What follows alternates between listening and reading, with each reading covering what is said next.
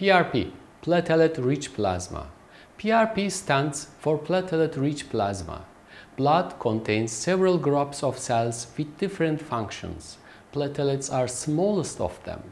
They stick to each other for forming clot at the areas of a wound to stop bleeding out of this leak. Also, they initiate permanent healing through secretion of the local effective growth factors they stored inside the cell body. That leads doctors to use natural capacity of human body for healing.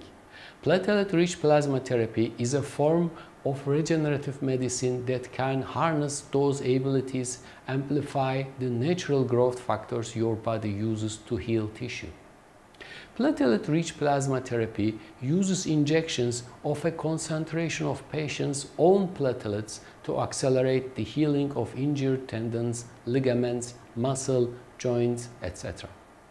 PRP injections are prepared from the drawn blood through centrifuging it in a special tube.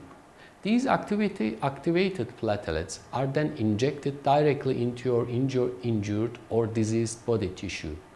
Platelet-rich plasma has been found to significantly enhance the healing process and using a PRP injection for shoulder pain caused by rotatory cuff tears, for Achilles tendon ruptures, and for other soft tissue injuries is becoming more common. PRP has also been demonstrated to improve function and reduce pain in people who have osteoarthritis, tendonitis, like tennis elbow. Also, it has benefits to accelerate delayed union at fractured bones. The injections are made in complicated areas or deep located organs like hip joint under control of fluoroscopy. Please let us know if you need a regenerative alternative in diseases like the mentioned above. Have a nice day.